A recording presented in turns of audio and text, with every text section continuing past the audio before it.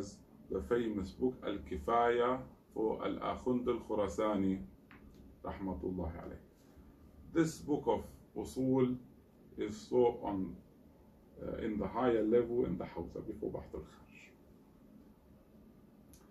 It, it consists of an introduction that covers 13 topics like the definition of Ilm al-Usul, al-Wada, al-Khabar, al-Insha, different topics. And then it has two parts. The first part it speaks about Mabahith al-Alfaz, studying the linguistic meanings. And the second part it speaks about al-Adillah al-Aqliyah, the intellectual evidence. This important knowledge of Al-Akhund al-Khurasani comes from the Usul school of Shaykh al-A'zam, Shaykh al-Ansari, rahmatullahi alayh. It took Al-Akhund al-Khurasani two years to finish his book at the end of his life in Najaf. It used to take the student up to six years to finish that level of usul. Six years.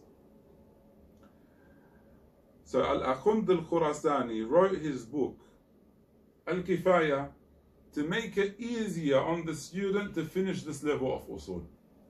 You can finish the book Al-Kifaya in two to three years, instead of six years, half the time. So it was a reformation movement during the time of Al-Akhund al-Khurasani.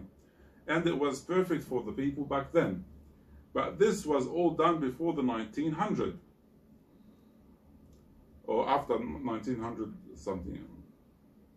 Uh, yeah, after the 1900 in a few years. And back then, it was very beneficial for the students. However, today, and after more than 100 years, students struggle in learning this book or studying this book. Students in the Hawza today, they struggle when they study the book Al-Kifaya for Al-Akhund. Why? The book obviously is strong when it comes to the knowledge, but it was written in a very weak grammatical language. And it takes half of your time and energy to try to understand what he is saying. Right? It is very complicated in returning the damir, where is the damir goes back to, and, and so on. So you spend most of your time what, trying to understand what he's saying due to the weak grammatical language that is used. Even in a lower level of usul, the famous book is uh, Usul al-Mudaffar, or Shaykh al-Mudaffar rahmatullahi alayh. He delivered some incredible lectures in Najaf, and then they were collected in a book of Usul. However, it is not written in a very systematic order. It's a collection of collection of lectures, and it's not a, written as a book.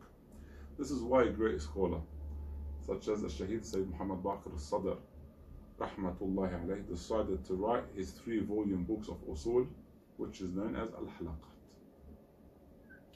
this book achieved two important things. First, it, its content was written down in the format of a book and not based on lectures. People of intellect, they can know the difference, the big difference between lectures that are collected in a book and the book that is written to be a book. big difference. That's number one. And number two, Sayyid al-Sadr rahmatullah alayh through this book, he made it easier for the student to finish usul and go straight to Bahth al-Kharij. Instead of studying uh, al-Mudaffar, which is written in a very complicated way, and then al-Kifaya, no, you can study al-Halaqat, the three volumes, and you will be qualified to go to Bahth al-Kharij. Unfortunately, some scholars stood and still stand against the, the change that Shaheed al-Sadr rahmatullahi alayhi did. And some of them insist not to teach the book of Shaheed al-Sadr. It was said to me by a high-ranked scholar in the Hawza once. He said to me, if you study the usul of as-sadr, it is like you didn't study usul. You have to study the usul of al-mudaffar and the usul of al-akhund in order for you to be qualified to that extent. And some of them, they have a political reason for not using the books of Shahid al-Sadr rahmatullahi alayhi.